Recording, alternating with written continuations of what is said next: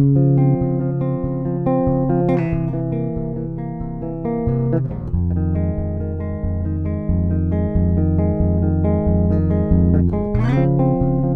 bass connoisseurs, I'm standing here with this Marleaux Votan Deluxe 5 string bass uh, and it's an absolutely pleasure to play on this one. Uh, Gerald Marleaux comes uh, from uh, Germany, more specific mid-Germany and uh, has taken the tradition there um, and made it into basses and he's done it for quite a while and uh, doing some exceptional basses like the Contra uh, and the Diva bass. Uh, if you haven't seen those videos, I recommend that you see them. They're spectacular. This one is a bit more traditional, uh, but at the same time an extremely beautiful, well-sounding bass.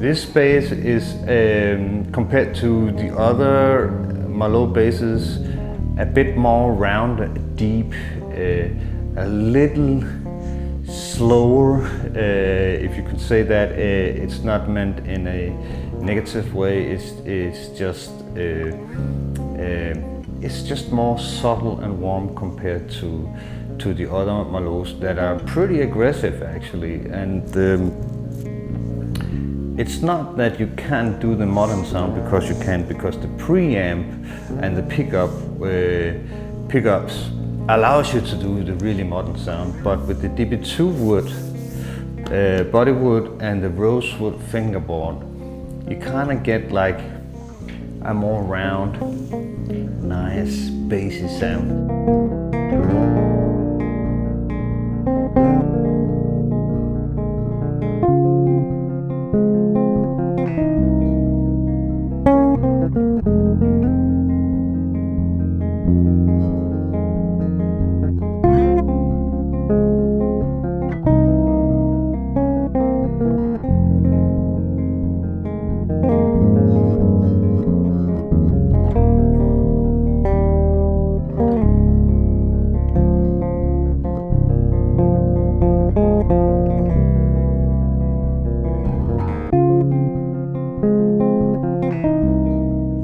Pickups are uh, um, made especially for this Marleaux bass and it's uh, Delano that has made them.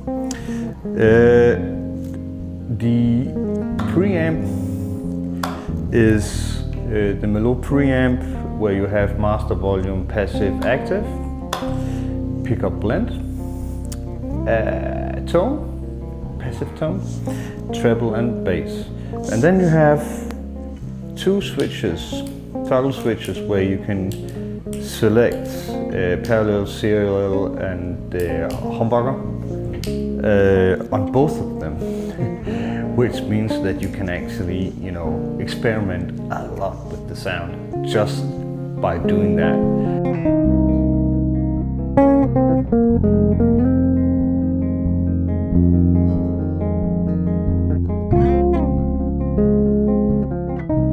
An absolutely delight to play this bass and uh, it gets me, me, myself, in a bit mellow corner, but uh, uh, I'm pretty sure that you can basically play whatever you want on this bass.